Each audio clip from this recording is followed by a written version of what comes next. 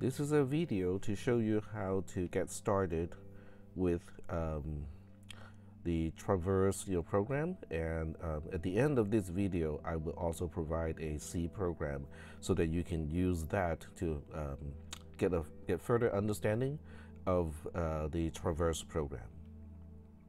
So let's go ahead. So I'm switching back to the uh, quiz so I'm copying and pasting a few things, you know, just so that I can get the program going. So I'm gonna copy this to traverse.c because I'm constructing a C program. And this is what I'm pasting. And then we also have the function itself, which is described here. I'm not sure whether you can see it. I don't think you can see it, but because I'm recording a specific window. Oops, nope, nope. I think you can see that one. There we go. All right, so these are the two main pieces that I need, but I also need a little bit more, uh, which I, I, can use you know, the um, assembly code for. So let me go ahead and you know, start editing um, both the C version, which is traverse.c, and then the other one is traverse-4.ttp-asm, which is provided to you already. So now we can see the two you know, side by side and I'm gonna have to include standard integer.h first so that I can reference you know the types like uint8 underscore t. So here this is the part where we have the entry code of the um, I'm just double checking make sure making sure things are being recorded. So um, this part here is the entry code. It calls main as if it is just a normal function. So that's basically what we have been doing in the class already. And then this part here which is struct node is equivalent to these label definitions they match exactly so that we have actually I take it back we, it's not exactly um, so basically these are off a little bit so this is the thing about um, using label definitions is as long as the label definitions are consistent and we are not actually calling uh, the functions from C or assembly code, they actually should be, it, should work just fine. Okay, it, they should work. So what I'm going to do here is to make the C code consistent with the assembly code. And you can see how L is the first member of the structure of node here. So I'm just you know, exchanging the order between L and value. Now you don't have to do that. Um, um, if you're just you know, testing the C code, but to be consistent, you know, this is what I would you know, like to do. But it won't impact any uh, of the other code because um, as long as it is consistent, where we find L and value and R, we should be fine. All right, so that's the uh, struct definition in C. This is sort of you know, parallel to the struct definition, but in uh, TTP ASM. Uh, traverse is your own code. So I am not providing the code. This is the return of traverse, uh, which corresponds to this particular close brace over here. So whatever is in between is up to you to implement. Um, this is not a whole lot of code, but it is um, a little bit of a complex piece of code in order to get it done. So what I'll do next is I am going to finish up the rest of the program. So you have the equivalence of the assembly code that is already provided to you in C. So here, N1, N2, N3, N4, and N5, they're all global variables because you can see how the labels correspond directly to the byte uh, directive here, which means you know, these are all you know, located statically in memory and they're not on the stack. They're not relative to the stack pointer. So I will do the same thing here. So we have struct node N1 and it has three members. Um, then we have a um, ampersand N2 and then followed by a 5 followed by an ampersand of N3 because each label definition here, N1 all the way up to N5, is a label of the address of the corresponding structures. Now this is not going to compile because your N2 is a forward reference in C, and in order for a forward reference in C to work, you have to say um, something, uh, I think it's, I think you need an extern first. So you basically have to say, yes, I am going to define um, N2 and N3 as well as N4 and n5 you know, later.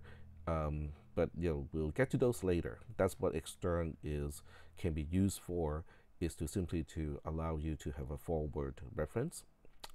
Um, and then we will define the next one, which is struct node n2. And in this case, n2 has a null pointer, and then followed by a value of 3, followed by the address of n4. And then we have struct and node n3, and this one has n5, the address of n5, and then the value of 10, and then followed by a null pointer. And then we have node n4, which has null and null pointer, followed by uh, 4, followed by null again. There we go. And then we have node n5, which is like 0, 9, and then followed by a 0 like so. Alright, so now we have all uh, the five structures already defined. It is time to define main. So this is also uh, an interesting exercise in a way because you know, I am actually uh, translating the code in a reverse way. I have the assembly code and now I'm translating it back to C code. So um, it can be an interesting exercise, you know, for uh, you to kind of understand, you know, because you know uh, we in class we only talk about how to translate from C code into assembly code, but now I'm actually reading the assembly code and translating translating it back to C code.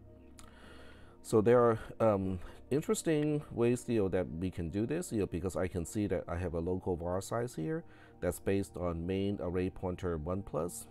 So array pointer is a pointer and this one is referring to, to the size of a pointer in uh, TTP.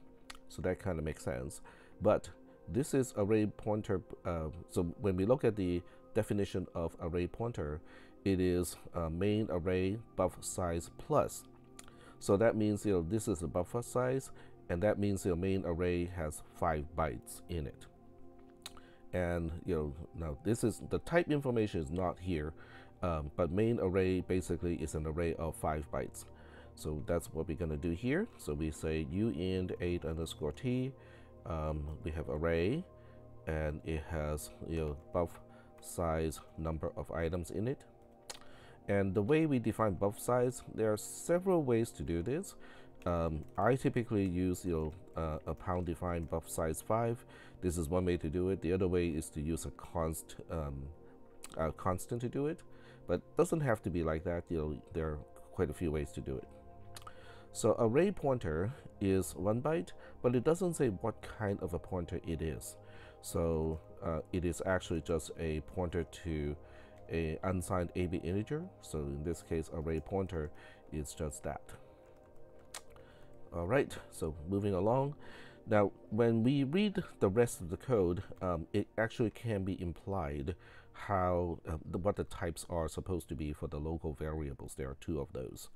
So now we look at this code here. Um, local var size is put into register A and we decrement that much from D. That's allocating for the local variables and it should be matched by you know a add at the end here. So um, yep, okay. So that's fine because know we are we have the matching code here. And then so that has no uh, C code equivalence because uh, the C code does it automatically. The compiler generates this code uh, without us having to worry about it. So the actual code to translate starts here. Um, so we put main array into register B and then we add D to B. So that means we're getting the address of array. And then on the other side, we have array pointer put into register A. Uh, this is register B, sorry. So we have register B um, having ultimately having the address of the array with the name array. And then register A ends up with the address of the local variable array pointer. And then we store B, which is the address of array, into array pointer. So on the other side here, now we know what that statement is supposed to be. Array pointer is simply initialized to the address of array. So given this, um, we can sort of tell what the type is supposed to be. Um, sort of. Okay, I say sort of because um, technically speaking, we are taking the address of um, the first byte of the array into you know and storing that into array pointer. So technically, that is what we are doing. Um, so you know the the type of array pointer is not directly implied by all of this stuff here. But it, it, you will see later on, you know, how I can actually determine the type of array pointer, because you know, the, by the time we call the function traverse, um, how the function, the prototype of the function traverse would actually help us understand this part too. All right, so more translation. Um, okay, in fact, what I will do is I'm going to say that, you know, from all we can tell in the assembly code, this is all we can tell, and then we'll go back and fix it later. All right, so getting back to the assembly code, what is the next thing we're going to do? So this is getting the offset to array pointer. We get to the address of array pointer, and then we push it on the stack. So in this particular context, you know, there's no particular reason to push this on the stack. So it probably is you know, setting up for function call. So in the C code, I am going to say, hmm, this is probably some kind of function call. And then the last parameter is the address of array pointer because that's what we're pushing on the stack. So now we look at know, what else are we pushing on the stack. So this is pretty simple. Um, we are just taking the label n1, which is representing the address of the global variable n1. We put it into register A, and then we push that on the stack. So that means, hmm, okay, so we are probably pushing the address of n1 on the stack, and we are pushing the arguments in reverse order. So that's why the, uh, the address of array pointer is the last argument, and then the address of n1 is the second to the last parameter. And after that, we just you know do a call, a regular call, because we are pushing the return address uh, with these three instructions, and then we continue execution at traverse. So that means you know this function that we are calling is simply traverse. All right. So at this point, um, there's something kind of important. There's nothing else that we are doing. Uh, these two increment these are for cleaning up the arguments you know, of traverse because we'll still have those two arguments sitting on the stack. So it's for cleaning up that. And then this is the return code already. So that means technically speaking, um, we are done with uh, main here. Okay, give it all semicolons. Okay, so this is where you know I can figure out exactly what the type of array pointer is supposed to be because we know that we are passing the address of array pointer to the function traverse. So we look at the prototype of traverse and we can see that the second parameter uh, is called array. I know it's a little bit confusing, but this is parameter array and not the local variable array of main. And we can see this is a double pointer to a uint8 underscore t. So that means the address of array pointer has to match you know, these two things. So we are looking at the address of the address of an uint8 underscore t. But that is the type of the address of array pointer, which means array pointer should be the address of a uint8, uint8 underscore t. So that's why you know, this is the correct type to initialize. So based on that, uh, when we try to initialize array pointer itself using the address of array, that means you know, we have to use the address of a particular element of array, which is a uint8 underscore t, because that would match you know, all the type definitions. It will make everything you know, consistent. So that's kind of you know, how um, we can uh, reference the C code, um, or at least a portion of the given C code, to kind of reverse engineer you know, exactly what the types of each local variable is supposed to be. All right, so um, this is the code. Um, and you know, basically, if I need to explain what the code is going to do, um, it is going to quote unquote traverse um, the basically the data structure that starts off with you know in this case n1 and N1 has a left. Okay, so let's go back to uh, traverse here. So when we are in traverse, the first thing it checks is whether pointer is null or not. If pointer is null, it is skipping over this entire conditional statement and nothing will be done. If pointer is not null, it is going to go to, um, it's going to call traverse recursively. And the way it calls traverse you know, recursively is it is passing along the L member of the structure that PTR is pointing to as the first argument and it's just going to pass array as is you know as the second um, parameter.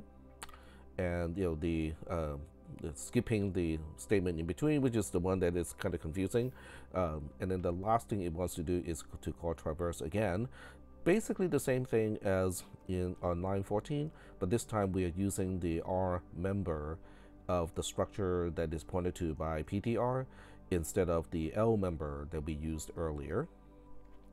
Um, so uh, that's basically what tra what Traverse is going to do. Line 15 is the most confusing line. Um, so one way to deal with line 15 is to locate it as two distinct statements. So I'm going to do it here just so that we can you know kind of reference this in a more easy way. So you can basically ignore the plus plus and then do the plus plus on the next line. That's basically what a post increment uh, would do is you know the actual increment is on the line that is following the original line. So that means you know I don't need all of these parentheses anymore. Okay, we can get rid of all those parentheses. And now it becomes a little bit more clean and easy to understand. So on the right hand side, we have the member value of the structure the PTR is pointing to. So how to access a member uh, of a structure that a parameter pointer is pointing to, we have talked about that in class already in the previous class. So what is left to do is on the left hand side, we have a double dereference in this case. So what that means is we are overwriting the location that is pointed to by um, another pointer that in return is pointed to by um, the parameter array. So we have already talked about how to deal with one single dereference. So this is a double dereference, which means mm, we just need one more dereference. Um, so uh, that is something that I think you guys can figure out, um, given you know, the sample programs that we have already talked about let me turn off my notification here because it is a little distracting. There we go. All right. So we are going to we are going ahead to test this program, and this is in the temp folder. Let me go to the temp folder here, gcc dash g dash o traverse traverse.c. It all compiles, and then gdb traverse. Okay, there we go. So this program is is a little bit complicated um, the way it's, it's, it's constructed. So one thing we can do is to put a breakpoint directly on line 38 and we just run through this code and find out what is going to happen to array. So we run through this code and by the time we get to line 38 I'm going to say okay let's take a look at what is in the local variable array of main and it has these content in it. So it doesn't look very you know uh, legible, but basically we have three, four, five. Backslash t is a uh, is a tab character. I cannot remember exactly what number is corresponding to, so let's find out. Because we can also print each uh, member of array individually, and then it's going to show the actual value. So we have 1 to 5, and then we have the 9, and then finally we have the 10. So uh, if you uh, to look at 3, 4, 5, 9, 10, and then you look at the actual um, definition of the structures, you can see that 3, 4, 5, 9, 10 are the values of the five structures that we have here. So this means you know, traverse is following a particular pattern of getting into all the different struct nodes definitions that we have here using the L member and all use, also using the R member in order to get to the individual um, uh, struct nodes. And then you know every time it gets to one, at some point in time, it will store whatever value, which is the middle uh, member of the structures, to a new location in the global in the local variable array of main by using array pointer. So that's kind of what it is going, uh, what it's doing. So obviously this code you know, is very difficult to implement you know, all in one shot and that is definitely not recommended. So let me go ahead and talk about you know, how to uh, approach this particular programming assignment. So what I'll do is I'm going to copy traverse.c to traverse0.c because this is you know, level zero of implementing traverse. All right, so when you get to traverse, you basically want to change this code enough so that it is easy to implement, you know, and we want to get the control structure out of the, the way first.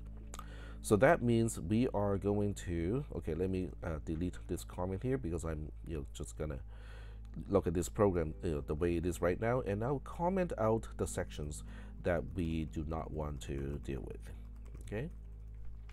That's it, okay? So this program should not do a single thing that is particularly useful, um, except, you know, there's a conditional statement here. Um, but you should be able to write this code. This uh, code is a lot easier than the other one. The question is how do you debug this code? How do you know whether it's skipped over or not?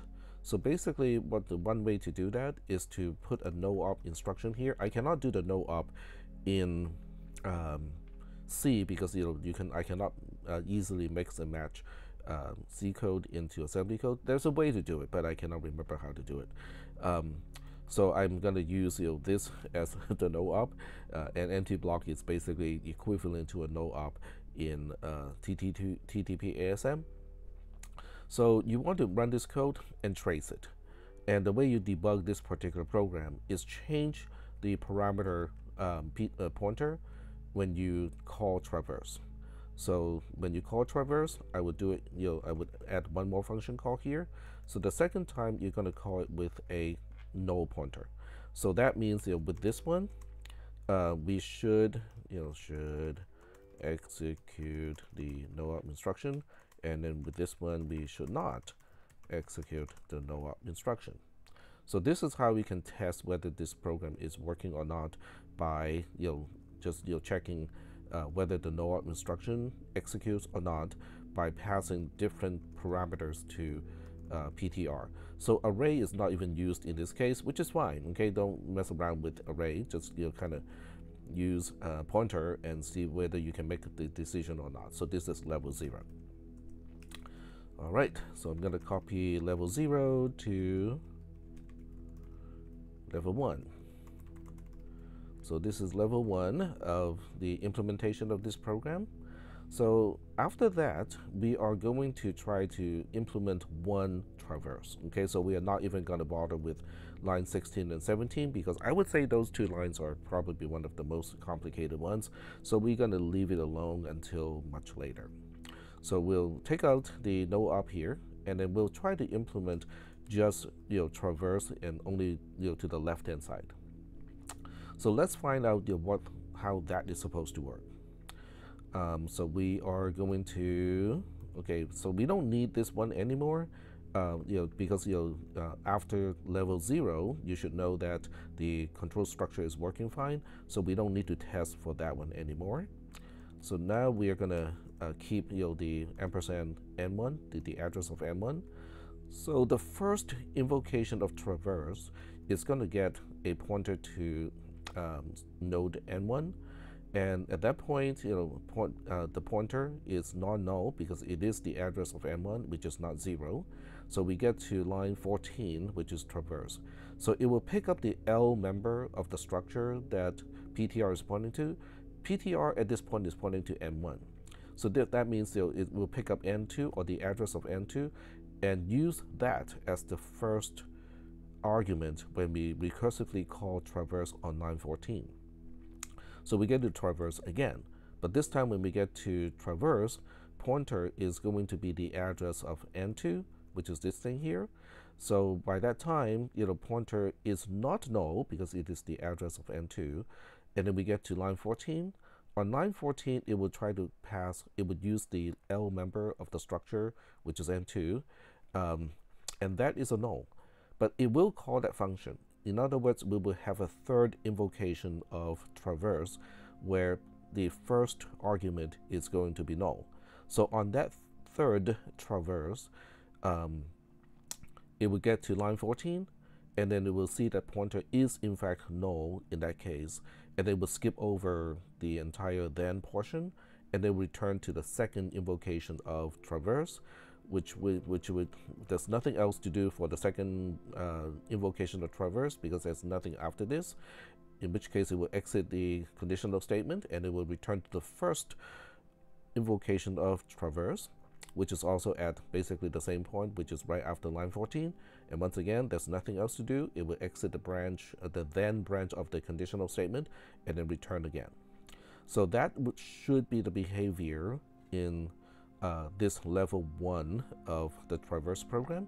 In fact, I can show it to you right away. So let me save the file and then we'll try to, um, oh, this is, okay, all right. So I need to do this, okay, gcc-g-o traverse one, traverse one.c. And then we do a gdb traverse one and then we'll put a breakpoint. Um, we'll put a breakpoint on traverse. Okay, so we can we can actually do this. So b traverse will automatically put a breakpoint at the entry point of the function traverse like that, and then we just run the code, and you can see you know the first invocation of traverse has n1 as the first argument or first parameter because we're looking at it from the perspective of the function so it's called a parameter in this case and if you just do a continue, not a single step, but continue execution, the second uh, invocation of traverse would have n2 as the first parameter. And if you continue one more time, it would have 0 or the null pointer as the uh, first parameter. But what is interesting at this point is you can also do a BT at this point, you know, a backtrace. So we know how we get to the last invocation of traverse. So we start with main, main calls traverse, traverse calls traverse, traverse calls traverse. Now, that may not be, it may not sound very helpful, but when you look at the parameters, it is starting to become helpful because main calls traverse, the first invocation of traverse has the address of n1 as the first parameter, and then the second invocation has n2 as the first parameter of n2. And then the last invocation, the third, has a null pointer as you know the first parameter. Now this is very important because um, you can actually statically analyze the, the entire stack and figure out, you know, have I push everything correctly on the stack and so on. Okay, Be, so you know, my one thing you can potentially do, okay, let me do an exit here and go back to the source code here. So one thing you can potentially do is to um, kind of have an else here to correspond to you know, what happens when PTR is in fact a null uh, value, and then you put a halt here. I cannot do that in the C code because you know there's no way for me to actually halt the entire program in C code, but you can put a halt here. So that means you know, at the end of the third invocation of traverse, your program is going to halt. Um, but that gives you a chance to take a look at the entire stack um, at that point, and you can try to double check and make sure that the content of the entire stack is correct based on you know, what we know should happen you know, for every invocation of traverse. So once you get your um, level one done, okay, so we will go ahead and copy level one to level two. So with level two, um, what we can do, there are a few ways to do it. You know, you can kind of do the other one, which is you know getting uh, traverse, the other traverse done, okay, which is um, going to be interesting, okay, because this is not going to be a hard step because if you can get line 14 done, getting line 17 done is kind of a copy and paste and then just change the reference of you know member L of the structure to a member R of the structure. Because if um, level 1 is working then this level 2 should also work. However the complication has to do with uh, so in this case um, what would what should you see you know when traverse is called? Because you have a second recursive call in this case. So what would be helpful in this case? Okay so I'm going to use comment to illustrate what is happening here. So basically with n1 it has uh, L um, that is n2 it also has a R that is n okay let me see I cannot remember all of those. So it has an R that is N3. N2 in return. Okay, so let me see how I should do this. I should probably use um, indentation and the next line. There we go. So N2 in return has an L member that is a null, and it has a R member that is N4. N3 on the other hand has a L member that is N5 and a R member that is a unknown. And then N4 in return, so I know this is going to look a little complicated. So N4 has an L member that is a null. It also has an R member that is a null. Same thing go for N5. It has a L member that is a null. It also has an R member that is also a null. So um, the way this particular program traverse 2 is supposed to do is it will first get to n1 because you know, that's what we specify in the first invocation. Then it will go to the L member of n1, which is n2. Then it will try to go to the L member of n2, which is a null. And that is um, basically a dead end because it will be um, when the first parameter is a zero, traverse simply returns. There's nothing else that it's going to do.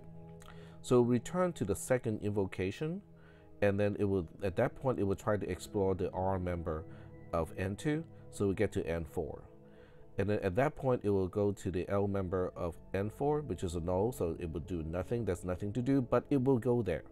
And then go back to the third invocation of traverse, and then it will also make another fourth invocation where the parameter, the first parameter is null, which will also do nothing, and then we'll go back to the third, um,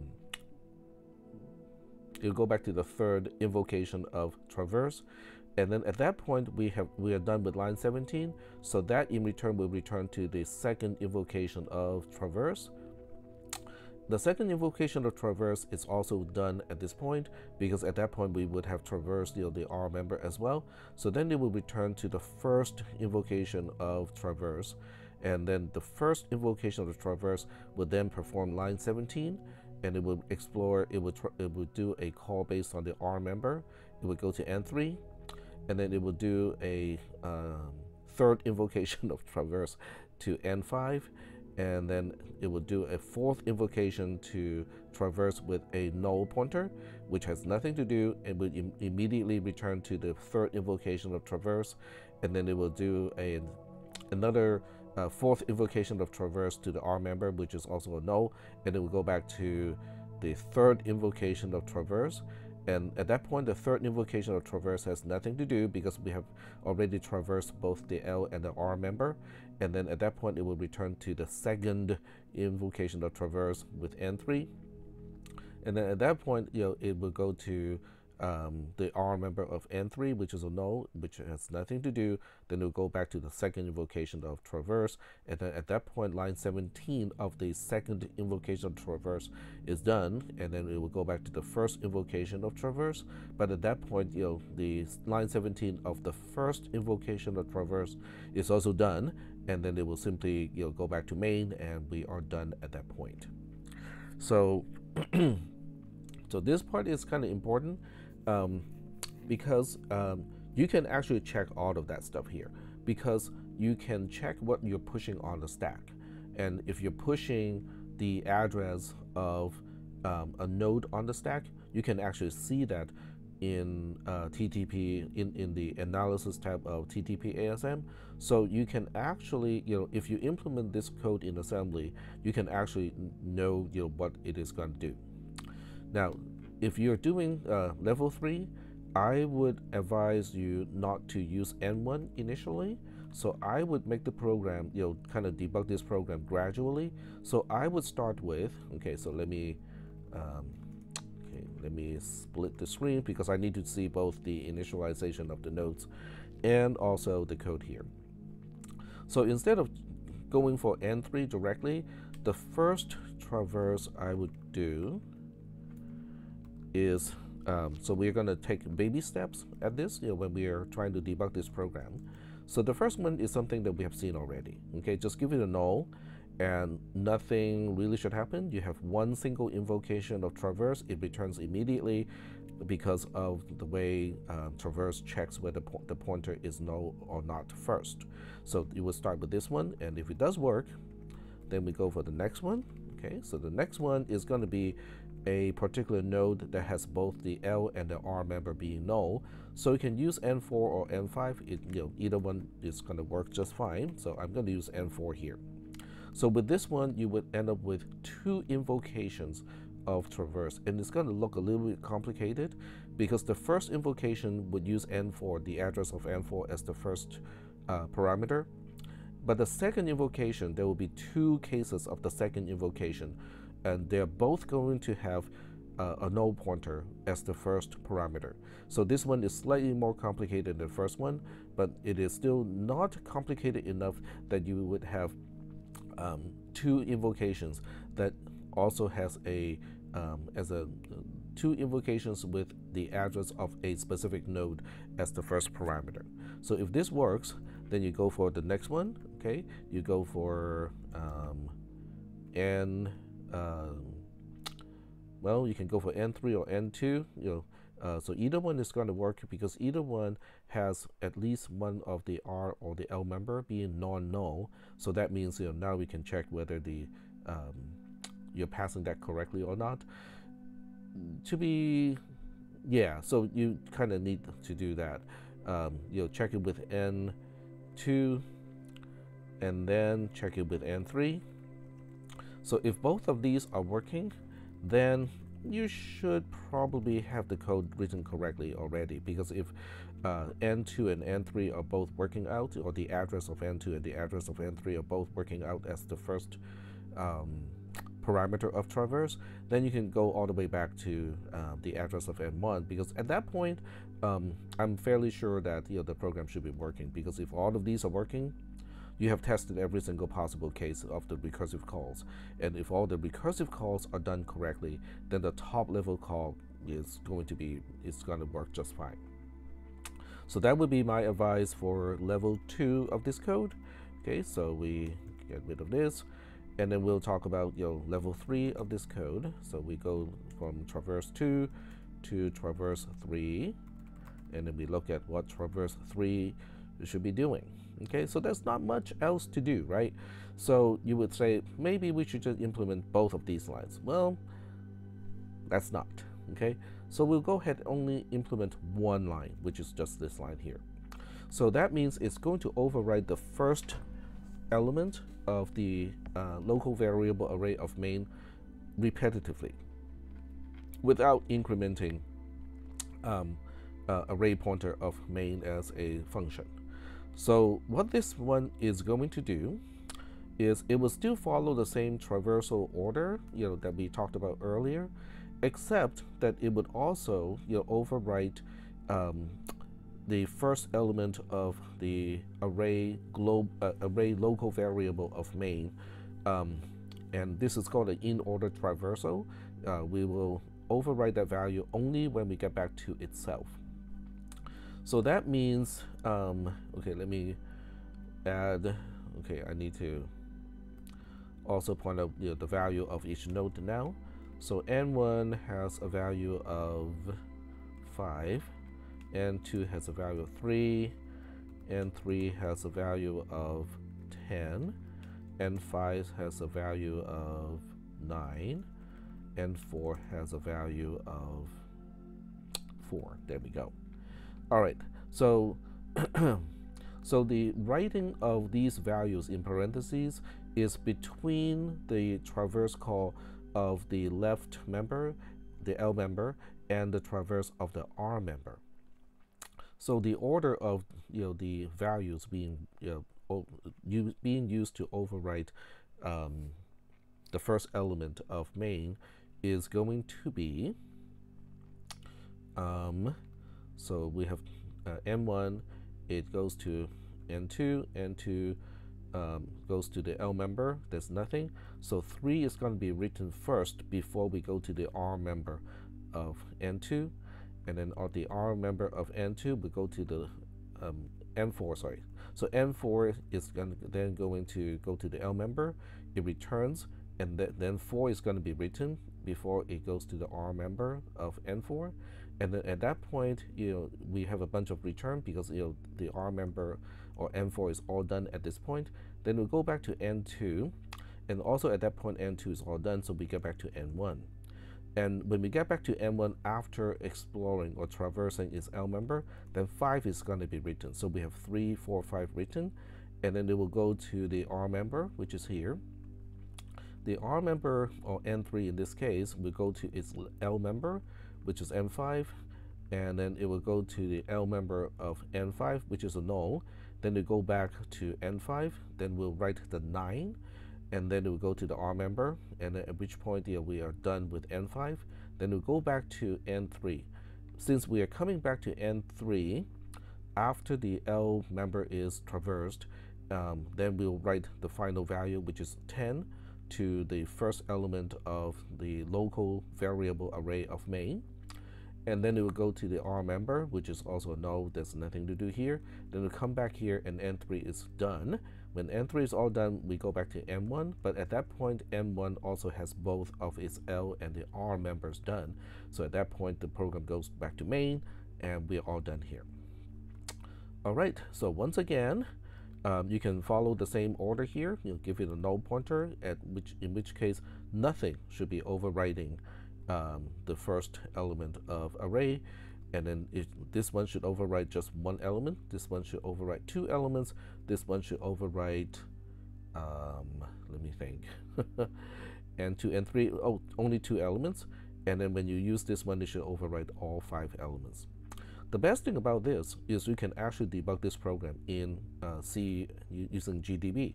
Let me illustrate how to do this in um, in C. Um, so we use a gcc-g-o traverse 3, traverse speed.c, like that. Oh, okay. This is to be traverse 3.c, there we go. So, and then we gdb traverse 3, do a list here. And uh, this time we want to put a breakpoint in traverse. So let's take a look at, at what is in traverse. And we want to put a breakpoint on line 15 here because every time we get to line 15, we want to know exactly what value is being used to overwrite um, the uh, new un unsigned 8-bit integer that is pointed to by a pointer that in return is pointed to by array. Um, so we'll put a breakpoint here and we just run the code. Okay, so this is the first time it gets overwritten and we can see that you know um, a pointer is pointing to n2 so when we ask you what is the value of the structure, um, what is the value of the member value of the structure the pointer is pointing to, it is the 3. So we know 3 is going to overwrite whatever is pointed to by a pointer that in return is pointed to by array. So we want to investi investigate that one too. We, we want to know what location are we actually overwriting. So uh, we already know what array is. So we want to print whatever is array is pointing to. It's pointing to something that looks like this. So at this point, you have to remember how we passed uh, the second um, argument when we called traverse. It is supposed to be the address of array pointer of um, as a local variable of main. So now we do a BT backtrace and you can see that we are already in the second um, uh, invocation of traverse. So that means in order to go back to main, now we have to go to frame 2. then at this point we can say, okay, tell me what is the address of array pointer. And we can see that the address of array pointer is in fact you know this thing here. So the, next question is, but what about the value that we just looked at? What about this thing here? This is what is pointed to. Um, this is the okay.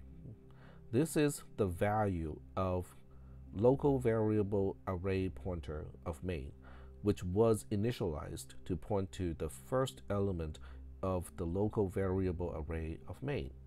So now we can ask, okay, is that really the case? Show me the address of the first member or first element of the array local variable of main. This is of main. And now we can see that, ah, okay, so that's what it is. So that means you know, when we execute line 15, the left-hand side is actually just referencing um, the first element of the array local variable of main. Okay, so um, you don't have to do a frame, you know, but I'm to do it. So let's do a frame uh, 0 to go back to exactly where we were. We do a single step, okay? Now we go back to main, which is uh, frame 2. And then we ask, um, what is the value of the first member or the first element of the, the local variable array of main? And it is 3, okay? So this is the verification of the program is kind of working the way I just described it. And obviously this is the most complicated case uh, because we're using N1 uh, when we called traverse from main. Um, but everything is still consistent with what I talked about before. So it's really kind of important to kind of understand how the program is supposed to work because you know when you look at the trace from the assembler, um, the nice thing about the trace from the assembler is it shows you the entire full history of what is going on as your program executes. There's no need to put a breakpoint anywhere because it tracks everything. It tracks all the memory read, it tracks all the memory write, it tracks all the changes to the um, registers. It also change, you know, tracks all the changes to the flags register, which in this particular case is not particularly helpful, except for when you try to um, implement the control structure. So um, that is done here, okay? So now we go to stage four, okay? So now we copy uh, traverse three to traverse four, and then we look at traverse four, and we go like, what is left to do? Well, this is the only thing that is left to do. Okay, um, so what this does is it increments whatever array points to. So in this case, this array is a double pointer. Um, it is the address of array pointer of main. So that means, you know, when once one dereference, you know, the parenthesized portion of this expression is referencing array pointer of main, and we are basically incrementing that. So that means, you know, uh, with this implemented, then the program should actually do whatever the entire program is supposed to do. So in other words, stage four is the ultimate goal. Okay, this is you know, what you want to turn in, you know, when you fully implement this entire program, um, is that it will fill up the entire array local variable of main over here.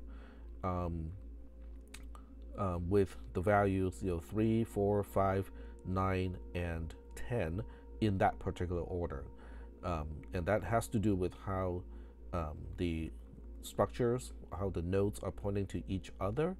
Um, and this is a textual way to look at it. I know it doesn't you know, look, it doesn't, it's not as intuitive as a graphical way, you know, drawing a, a tree, but you know, nonetheless, you know, this is basically the structure of how things are organized in this particular case. All right, so I am going to um, exit from here. Okay, you know, well, okay, let me do one more thing. Okay, because I just want to make sure this is working. Okay, so I have a gcc-g-o traverse 4 traverse 4.c and then gdb traverse 4 traverse 4 um, and I'm just going to look at main and put a breakpoint at the very end, which is line 57, just as, as a quick check to make sure this is working the way it's supposed to. Run the code, and then we print array bracket 0, 1, 2, 3, and 4. So this is indeed uh, working the way it's supposed to. All right. So what I'll do is I'm going to give you all of this. Okay. So I will give you uh, the original traverse.c and then each stage. So there's stage 0, 1, 2, 3, 4 plus you know the traverse.ttp ASM. So all of the um, files that are referenced in this particular video recording is going to be in the zip file and I will send it to you by announcement. So let me just do that first. Okay, traverse. Um, I'll call this traverse stages. Okay, so that way you understand that there's there's trace there's level zero, level one, level two, level three, and finally level four, and also you know the uh, traverse.ttp um, there we go. So there you go. And I can now put this in to the announcement okay? So you can you should probably see this part too you know just a portion of the browser window which is fine. So I'm gonna put a announcement here and say stages of traverse of the traverse program. See attached and include that and that is traverse.zip there we traverse stages.zip there we go. All right. And then publish. All right. Cool. All right, so this means, you know, at this point in time, you have, okay, obviously I'm gonna upload the video as well, okay? Um, so that means at this point, you have uh, some, I would say rather, you know, step-by-step, -step, you method to approach the Traverse program. Um, it really helps if you have um, some experience with uh, revision control. So that way you you can kind of keep track of you know the code that works, and then move on you know and do something. And if that something doesn't work out, you have a place to fall back on. Um, the most primitive way to do that is simply to save the file you know based on um, the date and the time. So that way you know you can you basically end up with a long list of versions of the same program, but because of the date and time, you also know, you know which one is earlier, which one is later. I'll give you an example. So that means, know, um, in Windows, you can just do it in the GUI, but I'm in Linux, so I'm going to do it in a, a, command line. So that means, if I have a TTP ASM that is partially working, it's kind of good because, you know, I got what I intend to do working. Then I will copy that to a file with the date and the time. Um, since you know, we are not going to cross the year boundary, it's always you know fine to be just like 05 and today is 04 so 0405 0504 sorry um, followed by the time and the time right now is um, 0824 you know 824 in the morning um, so that way you know uh, once I do this then I have a particular file capturing my progress up to this point. Okay, so that's going to be handy. Um, I will have another you know recommendation. You know, this is also you know kind of up to you whether you want to do it this way or not. But I use this approach a lot. Oh, um, because the file is already open in the other window. Uh, I believe this is the one. Okay, so um, the the way I do things is um, a lot of times you know when I know what I should do next, I would give myself a little to do um, comment and say, you know, uh, try to implement blah blah blah next. So this is a reminder to myself. It's like, okay, now that I got, you know, once I get what I'm working on, currently working on done, you know, what is the next thing that I need to do? So, you know, I can leave behind these little reminders so that I don't forget, you know, what I'm supposed to work on next. Um, but that's you know, that's up to you. I mean, you know, your the style that you want to approach this program is entirely up to you. Um, you do not need to submit, uh, you know, stage zero to four to me. You can just submit you know, whatever last version is working to me. Um, as far as grading is concerned, um, I want to be a little bit flexible this time, which means you know if people can get you know stage a particular stage done, I want to give partial credit for getting you know anything before stage four done, and you know so so that people have can get partial credit you know just by you know kind of approaching this particular uh, you know programming assignment in a staged way so that it's not all or none. Okay if you cannot get to stage four you get a zero. That would not be um, yeah, that would not be nice okay? But you know so that's why I want it to be uh, based on which stage you're at and I will need a way to know which stage you're at know, because when you submit the file it's just a file to me and you know I need some way that you can tell me, you know, which stage you have completed, and I can test the program only for that particular stage. So I'll work on that later, okay? Um, what you need to do is to um, kind of determine how you want to approach this. Now, if you're confident with your programming skills and your understanding of the material, you can start with stage three, for instance, okay? You don't have to start with stage zero. Um, but personally, I would start with stage zero myself, okay? Because you know I don't like to write a whole lot of code without testing the code and finding out that okay, it's at least working up to this point. Check it in, okay? You know, just you know save the file within with the uh, date and time, and then move on to the next thing that I need to work on.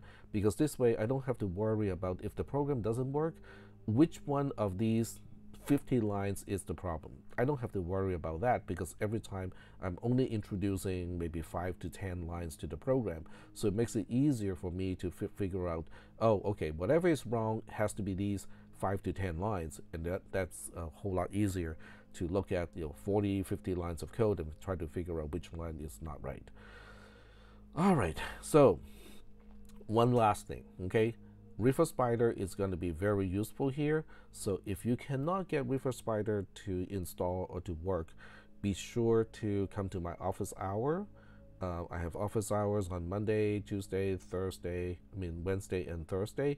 So hopefully you will get to me, you ask, ask for help you know, before it's too late. Okay. But everything starts with understanding the C code, okay, and that does not need a Reefer Spider. So I would, uh, I think that's the end of this particular lecture. And uh, yes, you know, if you are wondering what is that background music, you know, I do have some background music playing right now. Um, hopefully, uh, YouTube is not gonna call out, you know, for uh, copyright infringement because of the audio. Uh, sometimes it does that. You know, it would actually recognize the music. But since I'm talking the entire time, you know, maybe it won't pick up that music and go like, "Hey, this is copyrighted music. You cannot just put it onto your YouTube." We'll see. We'll see. All right. I will stop the recording now and push it online.